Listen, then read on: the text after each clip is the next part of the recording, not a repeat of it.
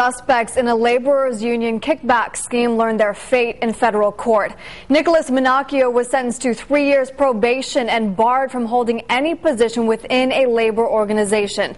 In July, the former director of the Laborers New England Region Organizing Fund admitted to accepting gifts from an FBI agent posing as a contractor. His uncle, Luigi Baby Shacks Manocchio, is the reputed head of the Patriarca crime family. Meanwhile, Harold Tillinghast Jr. was sentenced to two years probation for his role in the kickback scheme.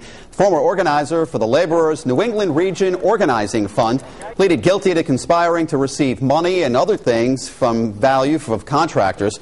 Tillinghast is the son of the late Harold Tillinghast Sr. and the nephew of Jerry Tillinghast, two mobsters who were convicted of killing loan shark George Basmajian back in the 1970s. The third defendant in this case, Gerald Diodati, was sentenced to two years probation.